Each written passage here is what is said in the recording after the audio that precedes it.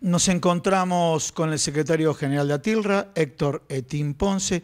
Etín, bueno, muchas gracias por recibirnos y de alguna manera, dado noticias que se publicaron en los distintos medios, eh, nos parece importante consultarte qué es lo que está pasando con la actividad lechera en general. Bueno, eh, en principio, eh, debido a la situación y al contexto económico y social de nuestro país, ah, es muy difícil que a, alguna actividad en particular le vaya bien y la, lechería no es la excepción. Ha habido, en, lo, que respecta a la producción primaria, ha habido en, esta primera parte del año una disminución de la materia prima entregada eh, de algo más del 10% comparado con el idéntico periodo del año anterior. Esto tiene que ver con, con en principio, el, calor que hizo en el mes de febrero y las copiosas lluvias del mes de enero en las cuencas lecheras más importantes de Argentina. Pero también tiene que ver con el, incremento de los costos de la alimentación de, los, de los animales. ¿no? Entonces, eh, ha habido una disminución de características importantes. Nosotros Esperamos que este primer eslabón de la cadena, que es, muy, pero muy importante, que tiene que ver con la producción primaria, pueda recuperarse a partir del incremento eh, en los precios que reciban de la materia prima entregada. Eh, son muchos los tambos que se han cerrado en los, en los últimos tiempos y esto habla a las claras también que los grandes están fagocitando a los más pequeños cosa que a la lechería en general y en particular en nuestro país no le hace no le hace nada bien. Bien, por otro lado, ¿cómo está la industria? ¿No es cierto? Tenemos indicadores en general de la Unión Industrial Argentina y bueno, ¿cómo está la industria láctea en particular? Bueno, la industria eh, tiene una serie de factores adversos también que se han conjugado como para que, mm, para que no le vaya eh, como realmente tendría que irle tenemos algunos factores que me parece em, que son muy importantes para, enumerar y nombrar. Por un, por un lado, eh, la suba de, tarifas, que em, eh, causan un impacto negativo de características muy importantes. En segundo lugar, y a raíz de la disminución del poder adquisitivo de la gente en general, hay una disminución del consumo una disminución del consumo que también es de características muy importantes, más del 10% ha bajado el consumo de leche fluida en nuestro, en nuestro país. La baja del consumo trae aparejado consigo también eh, que haya mayor capacidad ociosa dentro de, la, de las empresas, dentro de, de las industrias. Esa capacidad ociosa significa también incremento en los costos fijos. Cuando la industria debe procesar una menor cantidad de materia prima e industrializar una menor cantidad de productos hace que sus costos fijos se incrementen, aumenten. Y obviamente también hay un, hay un problema, todos sabemos, con, las tasas.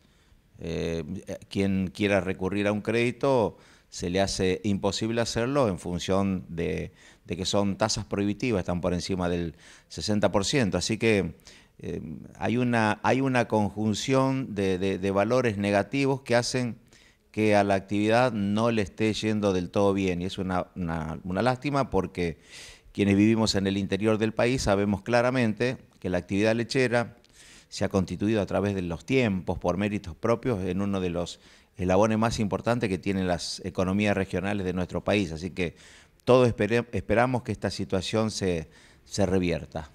Bueno, y por último, primero voy de lo general a lo particular. En distintos escenarios este, de la industria se ha visto eh, la utilización o el pedido de procedimientos preventivos de crisis. Bueno, en el transcurso de esta semana, el caso Verónica hizo mucho ruido, tuvo mucha repercusión en los medios de comunicación. ¿Qué reflexión te merece? Bueno, el caso Verónica es un caso muy, muy particular. En principio, si uno eh, toma nota y toma en cuenta la presentación original que hace Verónica en el ámbito del Ministerio de Trabajo y Seguridad Social eh, de la provincia, en la provincia de Santa Fe, eh, se ve claramente que lo que expresa en esa presentación no son otras cosas que los riesgos que de repente son propios del, del sector empresario. Ahora, lo que tenemos que tener en cuenta es una cosa, yo creo que en este caso no, se está hablando de una crisis empresaria, o en todo caso la, crisis es, disparada por el propio manejo de la empresa.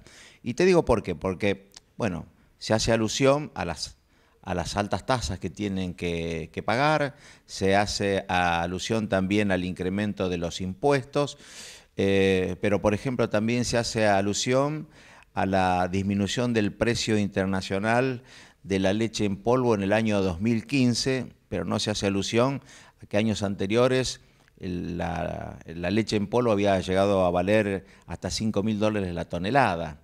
Y cuando valía 5 mil dólares la tonelada, lo que hizo la empresa fue modificar su, matriz productiva para volcar todo su esfuerzo económico y técnico en, en producir leche en polvo, sin olvidar que ese es un, es un, elemento total y absolutamente volátil, eso todo el mundo lo, sabe.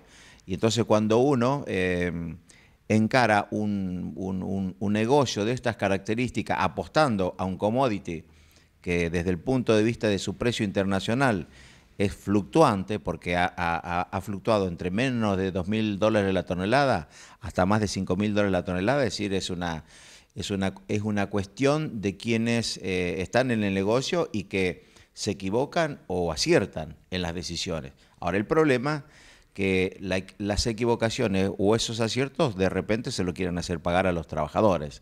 Entonces me parece que, que, esto de ninguna manera nosotros como organización sindical y representantes de los intereses de los trabajadores podemos permitirlo, porque en, esta presentación que hacen en el ámbito del, ministerio eh, seguramente están buscando por un lado eh, disminuir la, carga y la masa salarial de los trabajadores a través de, suspensiones, a través de reducción de carga horaria, pero también normal y habitualmente, siempre detrás de estos viene también una segunda intencionalidad que tiene que ver con el despido de los trabajadores. Entonces, me parece que eso, esto es muy importante, nosotros lo tenemos muy, muy especialmente en cuenta y en algunos de los aspectos eh, mencionan al convenio colectivo de trabajo. Este convenio colectivo de trabajo es el mismo convenio colectivo de trabajo que le permitió a la empresa en años anteriores expandirse y crecer desde el punto de vista industrial, desde el punto de vista empresarial y desde el punto de vista de los negocios que han hecho. Así que no tiene absolutamente nada que ver la utilización del convenio, porque si no con ese criterio y por carácter transitivo nosotros deberíamos decir cómo algunas empresas con este convenio le va muy bien y a otras, como en este caso, aducen que les va mal y en, y en lugar de hacerse cargo de una mala gestión de parte de quienes manejan los, los destinos de la empresa, comienzan a querer financiarse con, con, recursos económicos y financieros que son de los trabajadores. Esta es una empresa que ya se vino financiando con dinero de los trabajadores. ¿Por qué? Porque le hacía retenciones de la mutual, le hacía retenciones de la obra social, le hacía retenciones sindicales y no aportaba ni a la mutual, ni a la obra social, ni al sindicato. Entonces, ya vemos que es una conducta perversa que tiene quienes manejan la empresa. Y digo desde esta última parte hasta ahora, porque esta empresa, mientras era manejada por, por sus socios fundadores, no tenía inconveniente y no tenía problema. Lamentablemente, cuando se ha hecho cargo, eh, la, gente que ahora está manejando eh, Verónica, han comenzado a surgir este tipo de problemas. Pero, repito, este no es un, no, es un problema eh, de, de, una crisis devenida por factores externos que no tengan nada que ver con el manejo de quienes son los responsables de conducir los, los destinos de la empresa. Acá hay, hay, hay que decirlo con, con todas las letras, hay un problema de gestión de quienes manejan la empresa y quieren hacerle pagar a los, a, los trabajadores esas deficiencias que tienen que ver con la gestión. Por eso nosotros de ninguna manera eh, eh, vamos a tolerar estas, estas circunstancias. Eh, la empresa tiene plantas en, en Suardi, tiene plantas en Lehman, tiene planta, su casa central en, pertenece a la seccional Totora de Atilre y también obviamente tiene su centro de distribución en, en la ciudad autónoma de Buenos Aires. Así que nosotros estamos trabajando en forma conjunta entre todas las, seccionales porque sabemos obviamente que en este, en este momento que estamos eh, viviendo, no queremos que nadie pierda el, trabajo y que nadie sea sometido eh, a perder el, el trabajo, su fuente laboral, por inconductas de parte de quienes son los responsables de manejar a las empresas. Muchas gracias, Etín. No, gracias a ustedes.